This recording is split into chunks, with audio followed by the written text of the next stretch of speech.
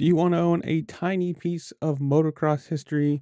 Well, you now can, because Bamland, that right there, is up for sale. I think it's two motocross tracks and a supercross track. It's 34.5 acres, and it was last sold in 2010 for $250.4 thousand. That was obviously before uh, Bam bought it and made it what it is today. It's been featured in Bamland, Bam Two Stroke, or Bamland Two Stroke, whatever, and then some other little riding videos. And obviously, this is probably a cool little thing. If you've got a million or two, who knows, lying around, it's a big shop, you know, training facilities, sauna, all the everything you need if you wanted to be a motocross or supercross rider or if you just got a bunch of money and you want to have some fun.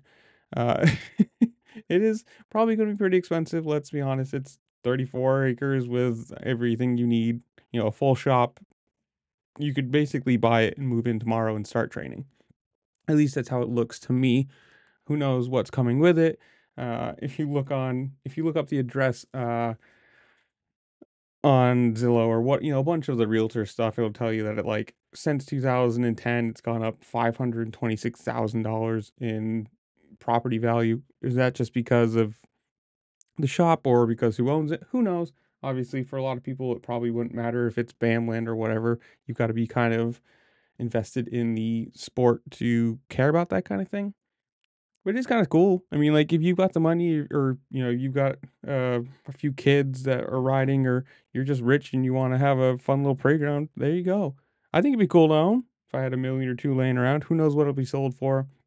I don't. Everywhere I've looked, I haven't seen a price for it, so it's probably one of those you got to call and be a a serious buyer before they'll actually tell you how much it is. But if you are, if you are a millionaire and you watch this and you can figure out how much it is, comment down below. Tell me what it is. Or if you're actually looking to buy it, comment down below and you watch this. But tell me in the comments too, also, would you want to own it? Obviously, I know Justin Barcia is a little bit of a polarizing, polarizing character. Let's put him that way. And a lot of people probably don't care or would want it because it's him. But in the comments below, tell me, would you want to buy this? Would you like to own something like this just in general, whether you're a racer or if it's just, again, a fun playground? And whatever it is, comment whatever you want. I don't care. And while you're down there, make sure to like, share, subscribe, do all the fun things this platform allows you to do because it really has helped me out and I appreciate it. And with that, I'll see you later. Peace.